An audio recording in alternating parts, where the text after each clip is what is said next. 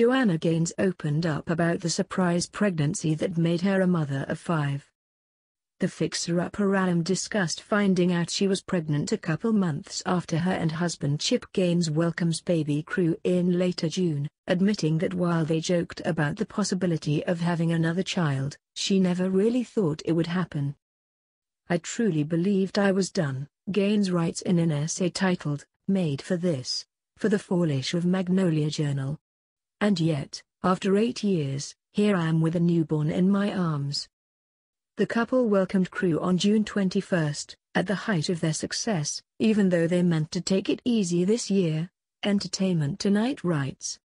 Chip and I made a choice to take some time off this past year because it seemed best for us in that season, even though we knew it would stretch us to stay still, Gaines said of their decision to end Fixer Upper last year.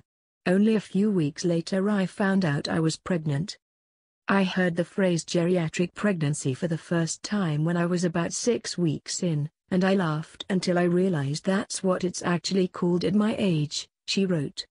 I feel like a first-time mom all over again. But, as hard and good and exhausting as it is, I'm seeing that I was made ready for this season just as much as I was made ready for the last. Despite keeping her other kids out of the spotlight, Gaines and Chip share baby Crew, as well as Emmie Kay, 8, Duke, 9, Ella, 11, and Drake, 13.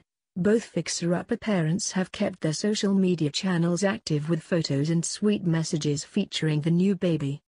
Gaines recently opened up about how Baby Crew was a happy surprise for the family. When I saw the results of the test, my jaw dropped, she shared, explaining that she took a test after feeling a little emotional and crazy. She continued, Chip was in the driveway about to leave when I called him back and said, We're pregnant.